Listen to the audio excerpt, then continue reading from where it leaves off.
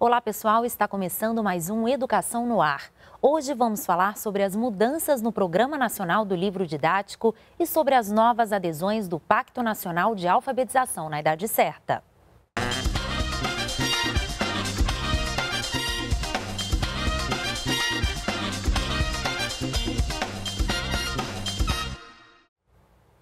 Ministro da Educação, Mendonça Filho, recebeu deputados para discutir o novo Fundo de Financiamento Estudantil, FIES. Parlamentares da Comissão de Educação da Câmara Federal tiraram dúvidas e fizeram sugestões para aprimorar o texto da medida provisória que vai a plenário. O novo FIES começa no ano que vem com três modalidades e 310 mil vagas. Desse total, 100 mil serão ofertadas a juros zero para estudantes com renda mensal familiar per capita de até três salários mínimos.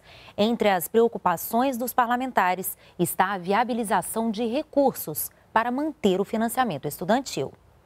O novo Fundo de Financiamento Estudantil foi tema de reunião entre o ministro Mendonça Filho e parlamentares da Subcomissão Especial do FIES, criada para tratar do programa na Comissão de Educação da Câmara dos Deputados.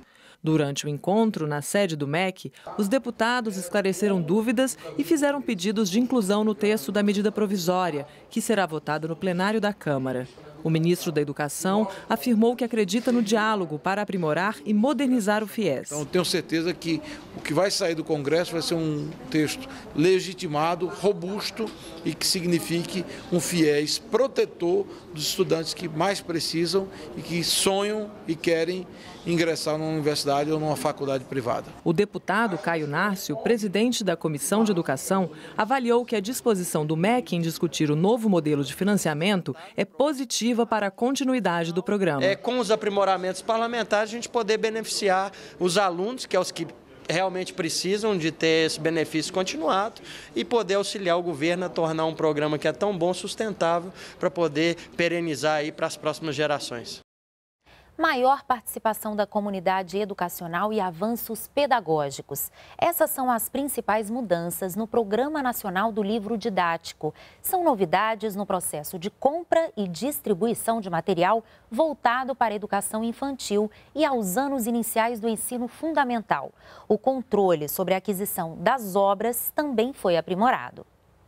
O Programa Nacional do Livro Didático terá mudanças. Um decreto editado pelo governo federal determina maior controle sobre a avaliação pedagógica dos materiais distribuídos a alunos e professores da educação básica pública.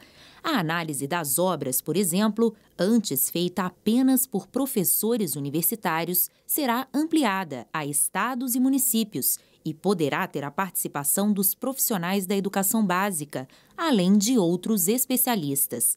A exigência será uma titulação mínima de mestrado. O processo está sendo migrado de algo, com uma, de algo exclusivo com universidades para um processo mais amplo, com participação de professores das universidades, mas também é, é, fortalecendo a participação de professores da educação básica, que são fundamentais, são os usuários junto com os alunos, utilizam no dia a dia e conseguem fazer uma avaliação é, sob uma perspectiva diferente e provavelmente melhor, ajudando a aprimorar o próprio programa. O decreto também altera o ciclo do Programa Nacional do Livro Didático, o tempo em que a escola utiliza o material.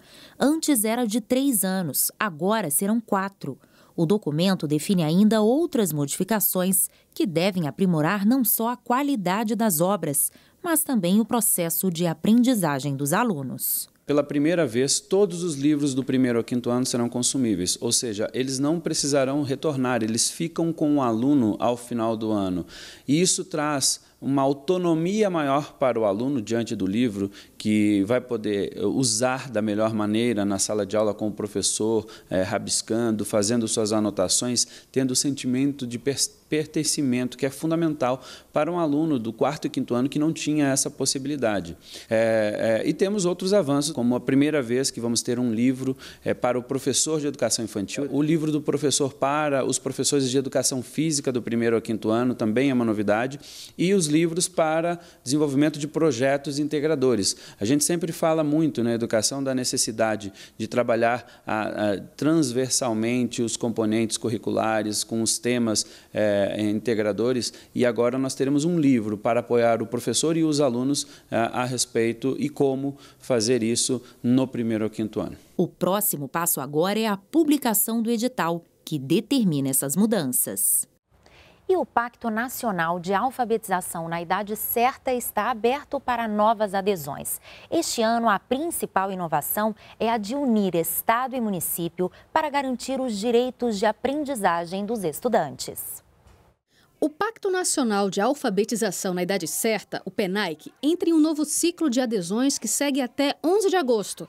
Essa adesão deve ser feita pelos estados e os municípios para assegurar que todas as crianças estejam alfabetizadas até os 8 anos de idade.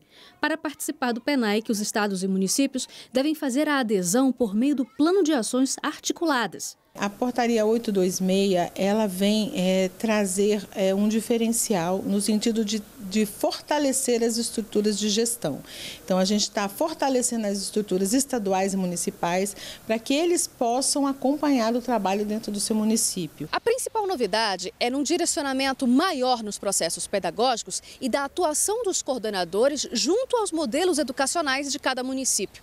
O principal objetivo é fortalecer os processos de avaliação de monitoramento e de intervenção pedagógico. Dados do Sistema de Informação ao Cidadão revelam que, em 2013, 5.276 municípios aderiram ao pacto e esse número aumentou para 5.489 em 2014. O aumento das adesões em 2015 e 2016 foram para os números de professores capacitados. No ano passado, já eram 13.198 professores alfabetizadores. Para que as atividades formativas cheguem à sala de de aula, o PENAIC trabalha com um eixo importante: respeitar as necessidades de todos os municípios e da rede estadual de ensino. Quando o secretário faz adesão, ele indica um coordenador do seu município.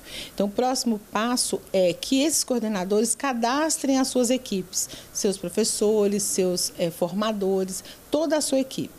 Né? E, e aí nós vamos chamar para reuniões aqui no MEC, né, os coordenadores de cada estado, dos municípios, vamos sentar e vamos definir a estratégia de formação daqui para frente. Bom, o Educação no Ar de hoje fica por aqui. Quem quiser saber mais informações sobre os programas do MEC, acesse o site e as nossas redes sociais. Até a próxima!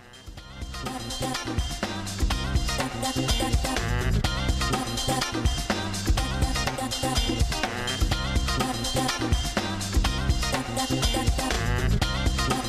you.